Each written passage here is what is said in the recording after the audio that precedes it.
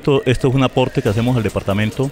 en pro de lograr algo que todos queremos, en compañía del señor gobernador, de los gremios que operan en el Cauca, de varias autoridades, de ustedes mismos, de los medios de comunicación, hacemos, estamos mostrando al departamento del Cauca cómo crecer en forma competitiva y sostenible en el departamento, mostrando ejemplos de, gente que se ha esforzado, industrias que han venido al Cauca y lo están haciendo para mostrarle al Cauca que sí es posible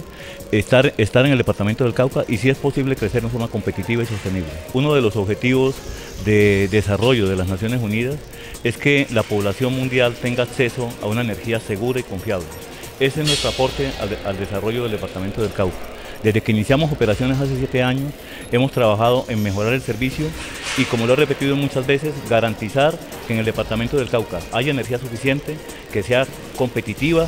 todos los días y que sea eh, cada día eh, de mejor calidad, con una sola condición, de que nos paguen por el servicio. ¿Invitados como cuáles hay en el día de hoy?